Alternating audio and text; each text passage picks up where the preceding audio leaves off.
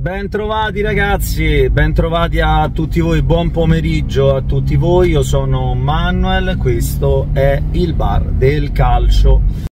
Cari amici, benvenuti a tutti voi, vi rubo 10 secondi solo per ricordarvi che è in vendita il mio ultimo libro, la mia ultima opera, è Fuggire per rinascere. Chi è interessato all'acquisto di questo libro è facilissimo, c'è una copertura nazionale di circa il 90%, lo trovate anche in librerie minori, ma il posto eh, più veloce e più rapido per acquistarlo è Amazon, lo store della Mondadori, lo store della Feltrinelli, oppure in alternativa per scoprire tutte le altre modalità di vendita vi basta andare su Google, digitare Fuggire per rinascere di Manuel Manconi e vi tirerà fuori tutte le opzioni di acquisto per questo libro. Chiaramente ragazzi chi lo compra mi faccia sapere cosa ne pensa, perché per me le recensioni e i vostri giudizi sono sempre molto importanti. Un saluto a tutti, ciao! Ci sono momenti in cui eh, si dice sempre che arrivano i momenti in cui eh, ti togli i sassolini dalle spalle, dalle scarpe, scusatemi perché il tempo è, è prezioso alleato. Eh, non mi piace ragionare in questo modo, eh? e ce l'ho con quelli che dieci giorni fa, non più di dieci giorni fa, mi prendevano per scemo, per deficiente, per le solite offese di bassa, bassa taratura che identificano le persone. Eh, falla finita, parli solo te, De Candreva, dici una marea di stronzate, di qua, di qua, di qua. Beh, mh, mm, i fatti, amici miei che mi avete tanto offeso nei, nei, mm, nei giorni passati, i fatti mi stanno dando ragione. La ragione dei fessi, sono d'accordo con voi, però prima di sta critica uno, cioè io non Um, non dovete pensare che Manuel si mette davanti al telefono a riprendersi a fare video a raccontare. Oggi voglio inventarmi una stronzata. Oggi voglio inventarmi Candreva alla Lazio. Ecco no, non è così io ripeto ancora una volta che ho la fortuna di avere eh, amici che fanno il lavoro di giornalista e lavorano per la Lazio, cioè stanno dietro al mondo Lazio, che quando è possibile ci si scambia opinioni e ti danno la notizia. Questo è quello che è accaduto due sabati fa. E ragazzi, fui il primo, sono stato il primo in assoluto a parlare di Candreva alla Lazio. Non è perché voglio prendermi un merito, perché essere il primo vuol dire anche essere predisposti a prendere parolacce e insulti come mi è successo. Però, però, credo sia giusto, sia giusto eh, sottolineare determinate cose. Ok? Detto ciò, Candreva non ci serve. Candreva magari viene. Questi sono tutti i pensieri che la gente dice Candreva di qua, Candreva di là.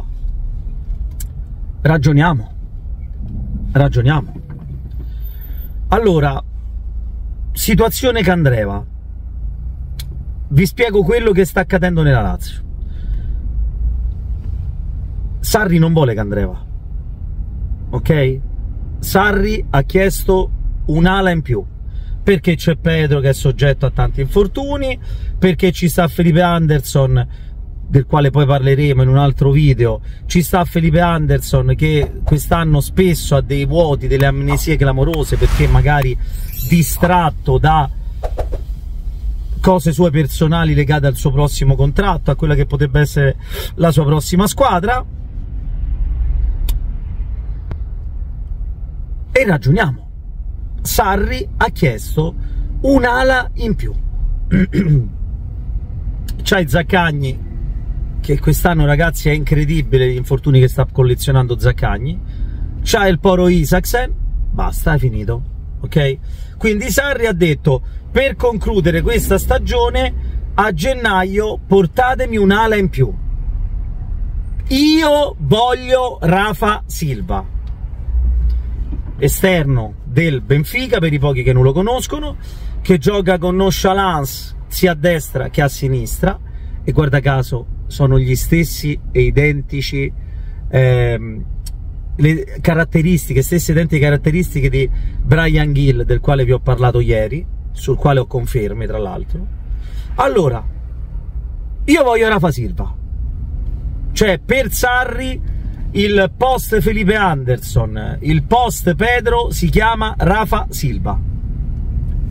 Rafa Silva, contratto e scadenza 2024, giugno 24. Dal primo febbraio Rafa Silva è libero di firmare ed accordarsi con un'altra squadra.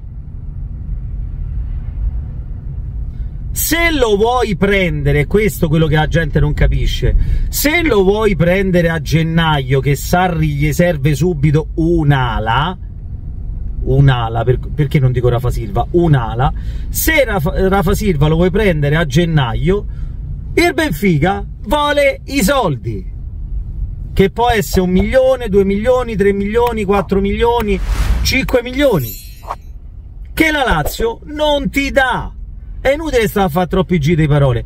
La Lazio non te li dà perché la Lazio ha un suo credo.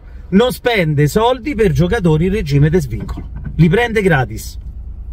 Ok? ecco che subentra Fabiani. Che dice? Mauri, Rafa Silva ci lavoriamo da febbraio. Ma a febbraio il mercato in Italia chiude il mercato in Italia a febbraio chiude diamo la priorità all'ala che ti serve urgentemente proviamo a prendere Candreva con il quale ho già un accordo verbale Candreva avrebbe dato già l'ok al trasferimento alla Lazio. Questa cosa ve l'ho già detta dieci giorni fa, se non di più. Ok? Candreva firmerebbe un contratto di sei mesi e farebbe nel ruolo di ala il traghettatore fino all'approdo nel prossimo luglio di Rafa Silva. Capito qual è l'incastro che a molti sfugge? Questo è il discorso. Non bisogna fare ragionamenti insensati dal mio modesto punto di vista, all'interno dei quali molti dicono o scrivono ma porco Giuda invece di prendere un vecchio di 37 anni come Candreva, piamo Serafa Silva perché è quello che ci serve. Ragazzi, lo sanno pure i Sassi che è Rafa Silva il più, il più funzionale alla Lazio lo, anche perché ci puoi fare un minimo di progettualità, due o tre anni di contratto.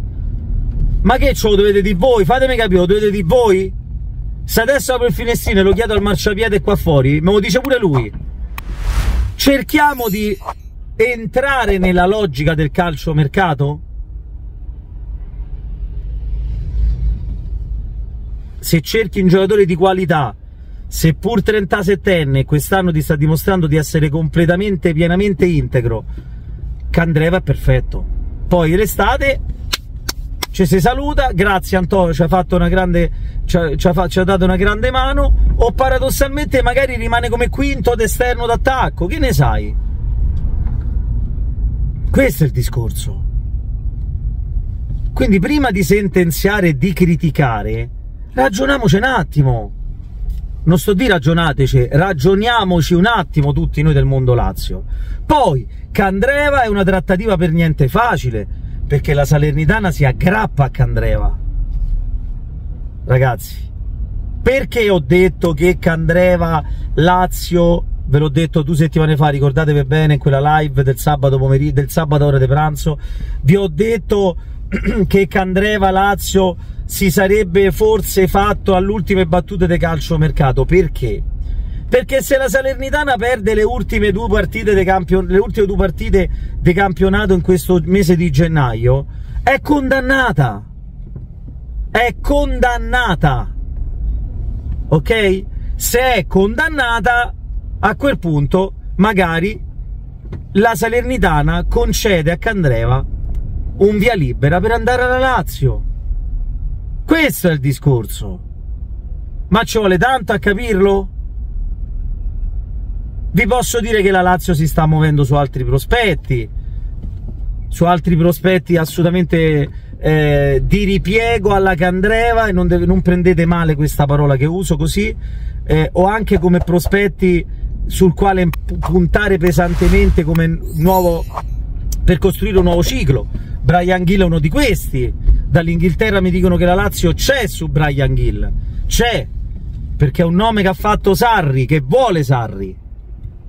Che io adoro, so folle per Brian Gill. Ok? Ecco, cerchiamo solamente di eh, capire quello che, c'è, di addentrarci in quelle che sono le dinamiche del calciomercato. Se no è inutile sta a criticare subito, a sparare, a fare. Ecco. E chiudo questo mio video così come l'ho cominciato.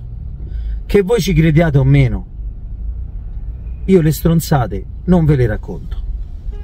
Ok? Rischio di fare figuracce, sì, ma io quando una mia fonte mi dà una notizia, io la dico. Stop, punto, io la dico. Poi se si verifica bene, se non si verifica faccia la figuraccia, ma è un prezzo da pagare, perché altrimenti se uno ci mette la faccia solamente per farsi bello e crogiolarsi, è così è troppo facile. È così è davvero troppo facile. Ecco. Chiedetevi perché tanti non azzardano a parlare di calciomercato. Perché non vogliono fare figure di cacca. Perché oggi nel calciomercato quello che dico oggi non vale domani. Ecco io ci metto la faccia anche andando incontro a brutte figure, non ci sono problemi. Sto qua. Sono fatto così. Non ho nulla da rimproverarmi. Sapete perché? Perché che voi ci crediate o meno, non vi prendo in giro. Se dico una cosa è perché è quella. Poi sta a voi credermi o meno. Vi mando un abbraccio ragazzi, un abbraccio forte, forte, forte, forte, forte. Ciao a tutti.